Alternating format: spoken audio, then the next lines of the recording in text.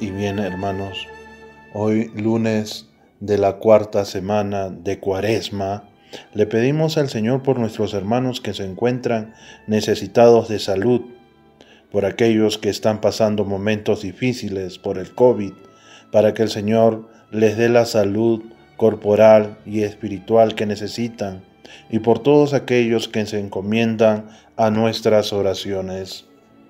Hoy meditaremos el Salmo 134. Dios mío, ven en mi auxilio. Señor, date prisa en socorrerme. Gloria al Padre y al Hijo y al Espíritu Santo, como era en el principio, ahora y siempre, por los siglos de los siglos. Amén. Alabad el nombre del Señor, los que estáis en la casa del Señor.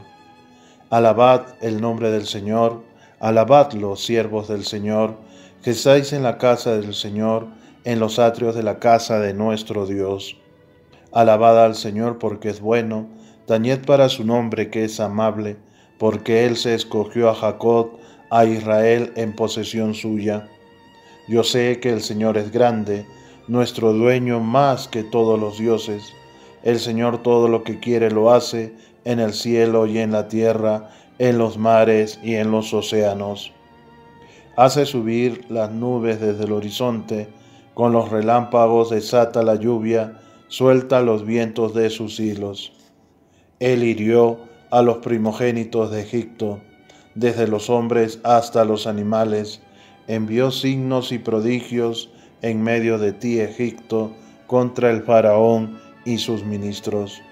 Hirió de muerte a pueblos numerosos, mató a reyes poderosos, a Sijón, rey de los amorreos, a Ot, rey de Basán, y a todos los reyes de Canaán, y dio su tierra en heredad, en heredad a Israel, su pueblo.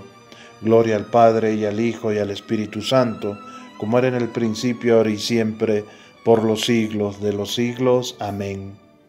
Alabad el nombre del Señor, los que estáis en la casa del Señor, y que el Señor Dios Todopoderoso nos bendiga en el nombre del Padre, y del Hijo, y del Espíritu Santo.